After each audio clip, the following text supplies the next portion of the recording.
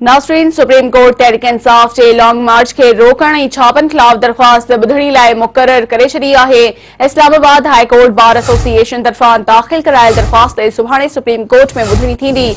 Justice Ijazul Hasan जी सरबराही में टे रुकनी बेंच सुभाणे दरख़्वास्त ॿुधणी कंदी।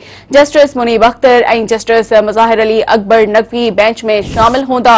नासरीन अहम ख़बर ॿुधाईंदा हलूं त सुप्रीम कोर्ट तहरीक इंसाफ़ जे लॉन्ग मार्च खे रोकण छापनि ख़िलाफ़ दरख़्वास्त ॿुधणी लाइ मुक़रर करे Islamabad High Court Bar Association तरफा दाख़िल करायल दरख़्वास्त सुभाणे सुप्रीम कोर्ट में ॿुधणी थींदी। जस्टिस एजाज़ उल हसन की सरबराही में टे रुकनी बेंच सुभाणे दरख़्वास्त ॿुधणी कंदी। जस्टिस मुनीब अख्तर ए जस्टिस मज़ाहिर अली अकबर नक़वी बेंच में शामिल हूंदा।